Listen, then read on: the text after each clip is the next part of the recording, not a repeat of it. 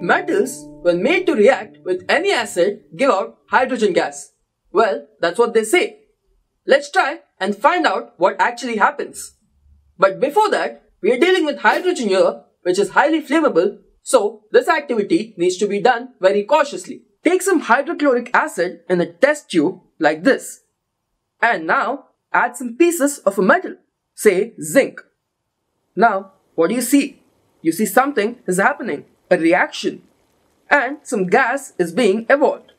If this gas can be sent through a tube like this into soap water, you can see some bubbles forming. And now let's try taking a flame. Now, let's take a flame near these bubbles. And wait, did you hear that sound? That popping sound is the sound made by hydrogen when it was burnt.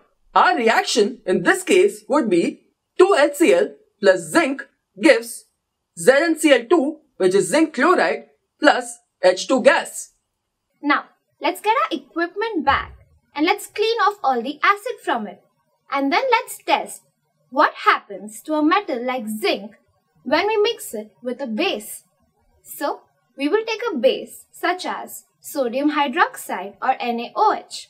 And then, when we put some zinc pieces in it, you can see that some reaction starts to take place.